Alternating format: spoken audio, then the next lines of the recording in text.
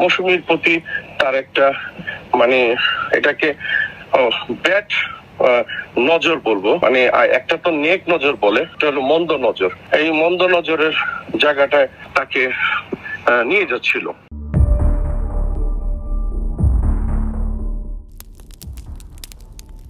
আসসালামু আলাইকুম, প্রিয় দর্শক, আমি আমিরুল মোমিনিন মানিক। আপনাদের প্রত্যেককে আমন্ত্রণ জানাচ্ছি চেঞ্জ টিভির স্টোরি অফ দ্য ফায়ার অনুষ্ঠানে। প্রিয় দর্শক সবিজ অঙ্গনে দুটি থাপ্পড়ের ঘটনা এই সময়ে খুব আলোচিত। একটি হচ্ছে ফেক বা বানানো। নতুন সিনেমা তালাশের প্রচারণার জন্যে একটি সেট বানানো হয়েছে। সেখানে পরিকল্পিতভাবে আদর আজাদ নামে একজন অভিনেতা, বুবলি এবং সৈকত নাসির নামে একজন পরিচালক উপস্থিত ছিলেন। তাদের সঙ্গে আরেকজন ছিলেন। পরিকল্পিতভাবে মানুষের দৃষ্টি আকর্ষিত করবার জন্যে সেই টকশোর সেটে ঝগড়া বাঁধানো হয়েছে। আদর আজাদ নামের নতুন অভিনেতা আরেকজনকে লাথি দিয়েছেন, থাপ্পড় দিয়েছেন। এটাকে ভাইরাল করবারও চেষ্টা করা হয়েছে সামাজিক যোগাযোগ মাধ্যমে। এই মন্তব্যগুলো করেছেন সামাজিক যোগাযোগ মাধ্যম ব্যবহারকারীরাই। তারা বলছেন যে, স্পষ্টতই বোঝা যাচ্ছে, এই তালাশ সিনেমাটি যেন মানুষের মধ্যে ছড়িয়ে যায়, তাকে নিয়ে আলোচনা সমালোচনা হয়, এর মধ্য দিয়ে একটি ক্যাম্পেইন যেন হয়, সে কারণেই মূলত টকশোর সেট বানিয়ে টকশোর আয়োজন করে এই ধরনের বিতর্ক উস্কে দেওয়া হয়েছে। দ্বিতীয় বিষয়টি হচ্ছে ওমর সানির প্রসঙ্গে।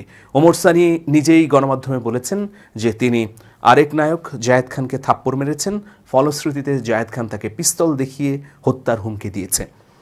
পাশাপাশি আরেকটি গুরুতর অভিযোগ করেছেন যে জায়েদ খান মৌসুমীকে বিরক্ত করছে। এখন প্রশ্ন হচ্ছে, কি ধরনের বিরক্ত তিনি করছেন? জায়েদ খান এই বিষয়গুলো অস্বীকার করেছেন। আমরা দেখলাম নায়িকা মৌসুমীর আরেকটি ভিডিও ভাইরাল হয়েছে। মৌসুমী সেখানে স্পষ্টই বলেছেন যে, জায়েদ খান আমার সঙ্গে কোনো ধরনের বিরূপ আচরণ বা বিরক্ত করছে না। মৌসুমী আরও দাবি করেছেন জায়েদ খানের সঙ্গে তার যে সম্পর্ক, সেটা কাজের এবং এই সম্পর্কের মধ্যে কোনো অস্বচ্ছতা নেই, স্বচ্ছতাই রয়েছে। জায়েদকে অনেক স্নেহ করি ও আমাকে যথেষ্ট সম্মান করে। আমাদের মধ্যে যতটুকু কাজের রিলেশন সেটা খুবই ভালো একটা রিলেশন সেখানে আমাকে অসম্মান করার কোনো প্রশ্নই ওঠে না। নেট দুনিয়ায় অনেকেই প্রশ্ন করেছেন, হাল সময়ে জায়েদ খানের সঙ্গে মৌসুমীর কাজের কি সম্পর্ক? কারণ জানা মতে তাদের দুজনের হাতে কোনো সিনেমা, বিজ্ঞাপন বা মিডিয়ার অন্য কোনো কাজ নেই। তাহলে কোন ধরনের কাজের কথা মৌসুমী বলছেন? এখন প্রশ্ন উঠেছে, ওমর সানি বা কেন এই ধরনের অভিযোগ জায়েদ খানের বিরুদ্ধে করলেন যে মৌসুমকে বিরক্ত করছেন জায়েদ খান? আর যাকে বিরক্ত করা হচ্ছে, তিনি তো অস্বীকার করেই বসেছেন, বলেছেন, জায়েদ খান ভালো ছেলে। এর পেছনে কি কারণ থাকতে পারে? অনেকগুলো কারণ থাকতে পারে। মৌসুমি এবং ওমর সানির মধ্যে পারিবারিকভাবে যে একটি দ্বন্দ্ব চলছে, বিশ্লেষকরা সেদিকেই ইঙ্গিত দিয়েছেন। যদিও ওমর সানি কৌশলগতভাবে সেই দ্বন্দ্বের কথা উপস্থাপন করেননি বা বলেননি। একদম সর্বশেষ যে লাইভটি করেছেন ওমর সানি, সেখানে আমরা দেখছি তিনি বলেছেন যে মৌসুমি কে জায়েদ খান বিরক্ত করেছে কি করেনি, সেই বিষয়ে তার সন্তানরাই ভালো বলতে পারবে। তবে আগের করা মন্তব্য, অর্থাৎ জায়েদ খান যে মৌসুমীকে বিরক্ত করছে, সেই বিষয় থেকে সরে আসেননি ওমর সানি। আমি গতকাল একটি অ্যাপ্লাই করেছিলাম শিল্পী সমিতিতে, জায়েদ খানের বিরুদ্ধে। তো আমি সেটাতে কিন্তু এখন আমি অটল। তার বিষয়ে যে আমি কথাগুলি বলেছিলাম, এটা একদমই সত্য কথা।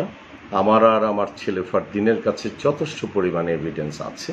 আর মৌসুমীর সম্পর্কে যদি বলি, কি ভেবে সে জায়েদ খানকে ভালো বলেছে ইয়ে করেছে, শোনেন, ওনার সম্পর্কে বাংলা চলচ্চিত্র জানে, বর্তমান ক্যাবিনেট জানে।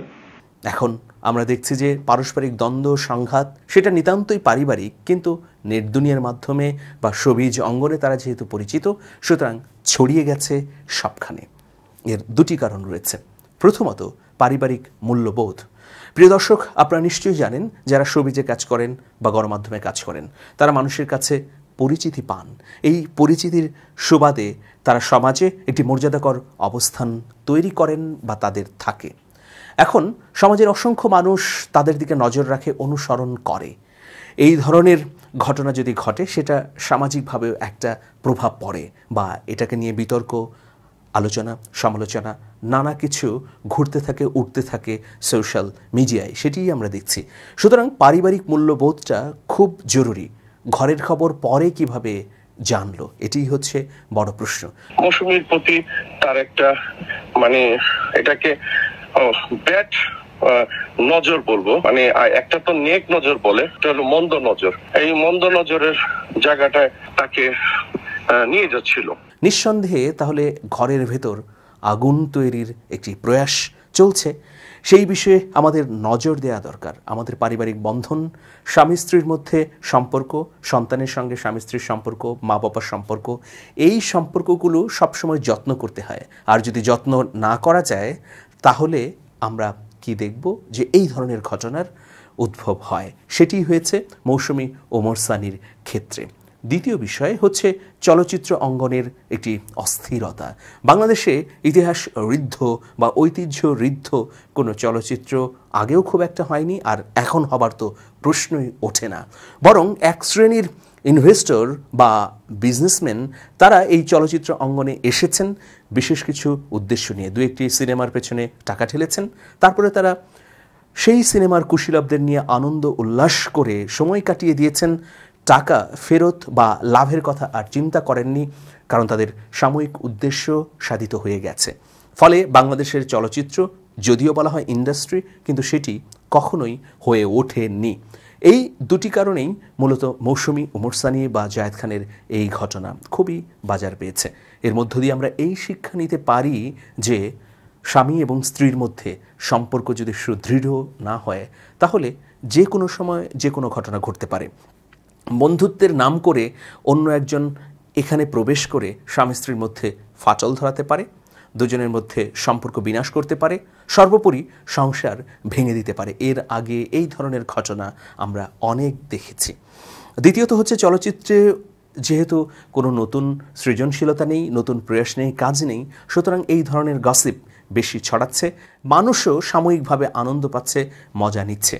প্রিয় দর্শক, আসুন আমরা আমাদের পরিবারের সম্পর্কগুলোকে যত্ন করি, পরিবারকে সযত্নে রাখি, সন্তান বাবা মা এবং অন্যান্য সম্পর্কগুলোকে প্রতিনিয়ত গাছে যেমন পানি দিতে হয়, ঠিক তেমনি পারিবারিক মূল্যবোধ দিয়ে আগলে রাখি। সবাই ভালো থাকবেন, শুভেচ্ছা নিরন্তর।